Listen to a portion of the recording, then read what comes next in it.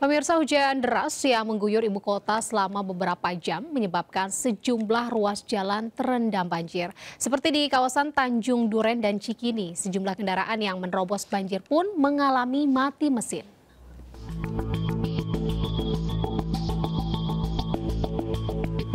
Hujan deras yang mengguyur ibu kota sejak Jumat sore mengakibatkan lalu lintas di Jalan Tanjung Duren Raya menuju Grogol dan sebaliknya dilanda kemacetan akibat terendam banjir hingga 60 cm.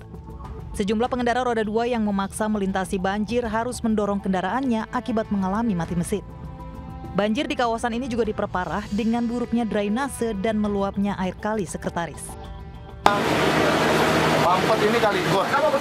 Saluran airnya berarti, ah, drainasenya ya berarti ya? Ya, terlalu lubang saluran air terlalu kecil. Kalau di, di sini sendiri emang tiap hujan gede itu pasti banjir ya Pak? Tiap hujan gede. Pasti banjir. Banyak yang mogok motor Bang? Sementara banjir dengan ketinggian 40 hingga 50 cm juga menggenangi ruas jalan Cikini Raya Menteng, Jakarta Pusat Jumat malam. Buruknya saluran drainase membuat air hujan yang turun dengan intensitas tinggi tak mampu tertampung di selokan. Kendaraan yang melintas dari arah Tugu Tani menuju Jalan Diponegoro pun harus mengurangi kecepatan. Sejumlah kendaraan roda dua dan baja yang mencoba menerobos genangan air pun mogok. Dari Jakarta, Miftahul Gani dan Rani Sanjaya, iNews melaporkan.